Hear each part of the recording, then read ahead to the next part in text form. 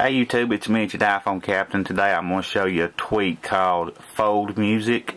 And what it does is it allows you to put folders right on your desktop. It's one, I should have mentioned, it's $1.50 in the uh, BigBoss repo. It allows you to put music right in your folders on your springboard. And I don't know what all that was about, but anyway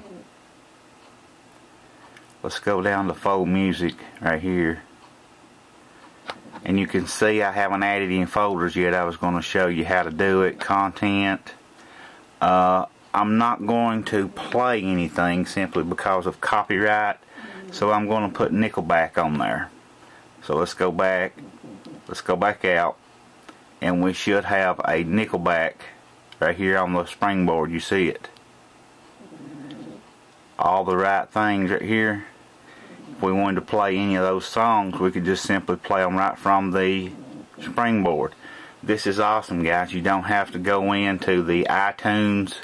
You know it's pretty there's a whole lot to getting into your music on the iPhone. You have to first go into the iTunes settings or folder and then go to your music. But this just makes it if you wanted to put different things on your springboard different different uh, artist make it real nice to have those by artist on there. So check them out.